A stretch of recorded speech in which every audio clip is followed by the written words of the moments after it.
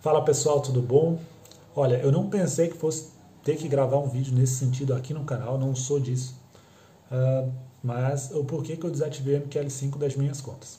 Primeiro, o MQL5, para quem não sabe, é um site de rastreio histórico, onde as pessoas disponibilizam sinais ali que podem ser copiados, ou pode a pessoa ir lá e copiar o sinal de alguém ou ele rastreia, deixa, as pessoas colocam um rastreio ali para poder ratificar uma estratégia, se é boa ou não, enfim. Então, bom, são essas duas situações, né?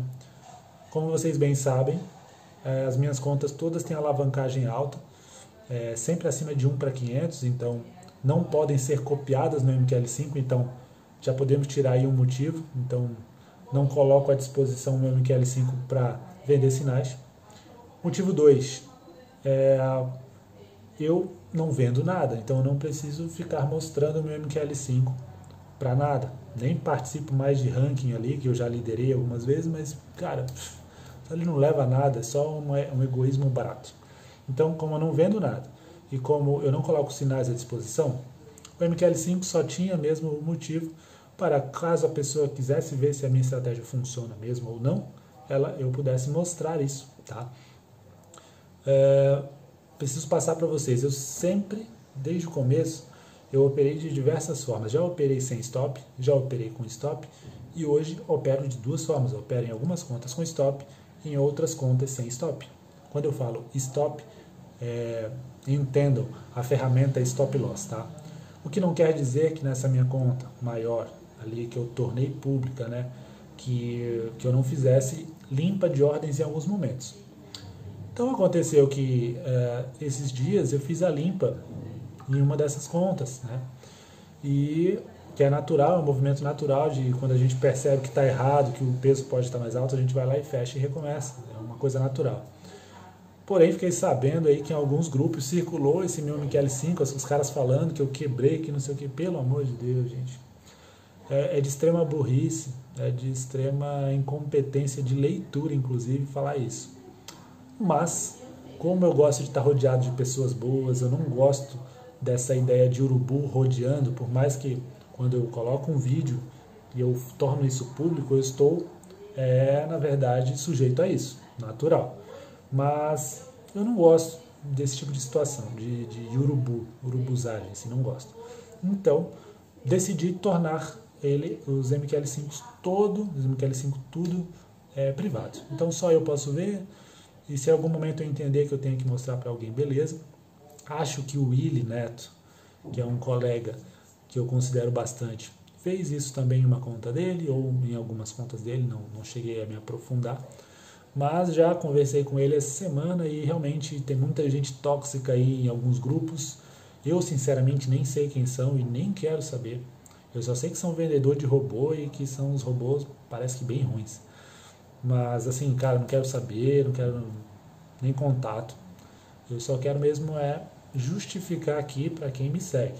E eu sei que essas pessoas me seguem para estar tá fuçando MQL5 porque me seguem, mas assim, não é para vocês, de verdade. Vocês para mim não são nada. As pessoas que representam para mim são aquelas que cara, vem no meu WhatsApp, vem me perguntar coisa, e, entendeu? Essa relação sim eu quero manter estreita. Essa outra de, de de galera, sabe, urubuzando, não, aí distância. O Willy é uma das pessoas que eu mais respeito. Ele é uma pessoa que é, teve a coragem de em algum momento botar um capital e capital que não é tão acessível à maioria das pessoas, mas se você ver as palestras dele lá, ele teve coragem de arriscar em algum momento, fez bastante dinheiro. Depois ele começou a divulgar como ele fazia, ele teve peito para abrir uma corretora para ele, ele teve peito para fazer um livro, né? que é coisa que essa galera não vai conseguir talvez fazer nem 10%. São pessoas que precisam diminuir ou pisar ou tentar pisar em cima de outras para poder se sobressair. É, mérito, a gente fala de mérito quando a pessoa consegue se sobressair sem olhar para o lado, quando ela consegue crescer sem precisar falar do outro. Quando a gente precisa falar mal do outro, é porque nós somos incompetentes. Essa é a verdade.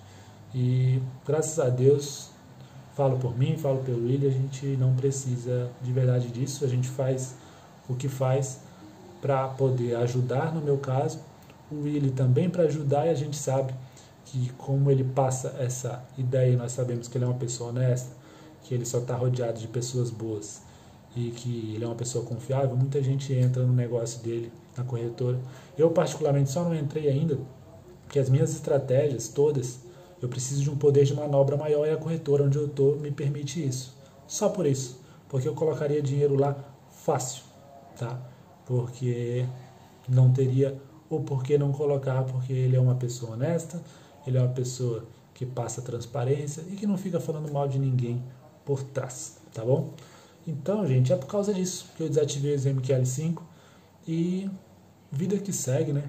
Vamos, é, Forex é aberto para todo mundo, todo mundo pode ganhar, todo mundo pode perder ali dentro, tá?